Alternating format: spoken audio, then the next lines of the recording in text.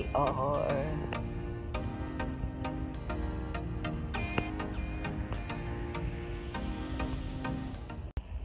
Yan, nag scout na naman ng herring. Tingnan natin kung meron tayong makikitang mga herring, mga kaibigan. Yan. Usually dito kami nag-herring. Kumukuha ng mga herring. Dami dyan noon.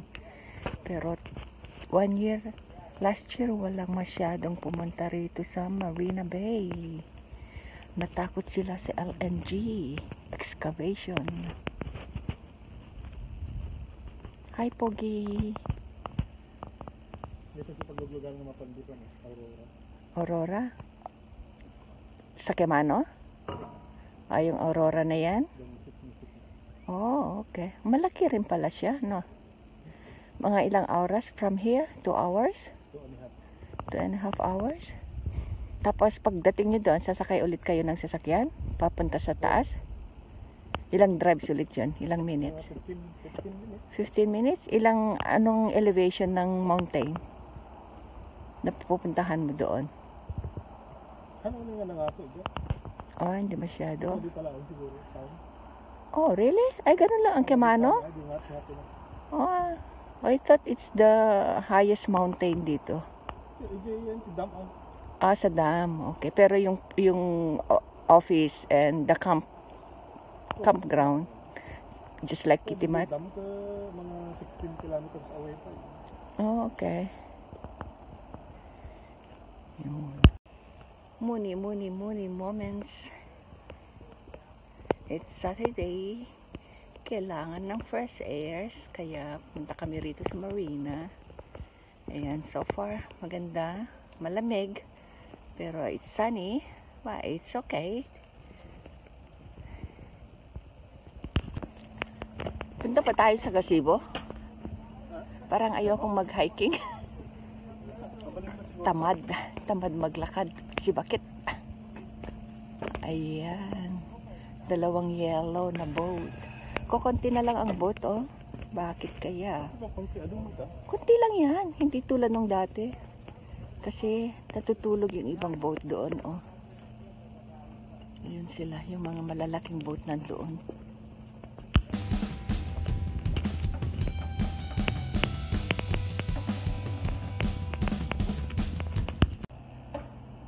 Nakatakot naman yung sound na yan. Oh. Ang gagaling dyan sa may loob.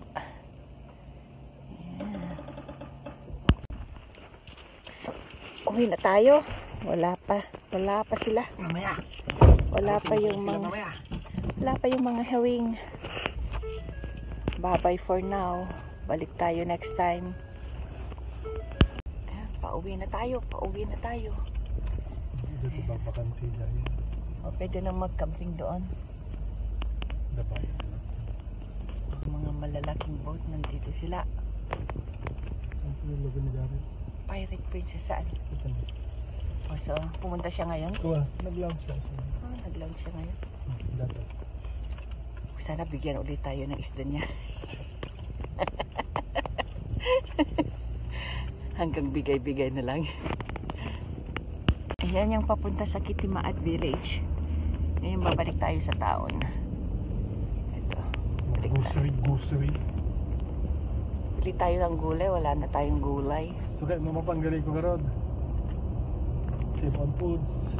So di man kayo tigulay nga kita yung green. Di bangit ko. Wala nang snow. Tunaw ng snow natin. Spring na siya. Ay! Nahulog. Ito nga bago.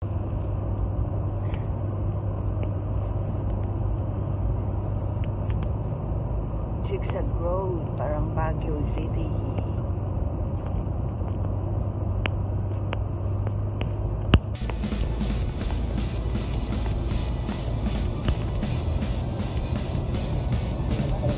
Maraming sasakyan ngayon ah. Saan po pupunta yung mga fire department?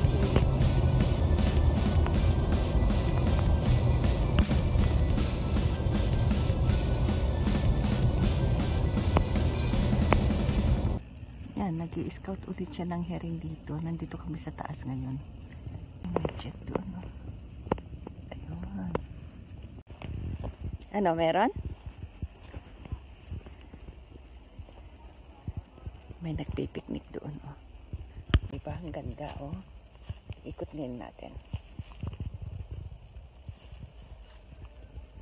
Pupunta sana kami dun sa taas, diyan. Kaso marami pang isno sa daanan. Baka hindi kami makababa. Ayan, yung sunset. May kasama kami dun, oh. Pipiknik sila. Ito parang ano yung road doon papunta ng Baguio na? Cannon Road?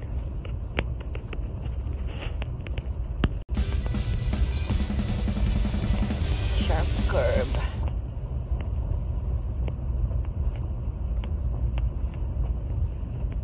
Doon oh.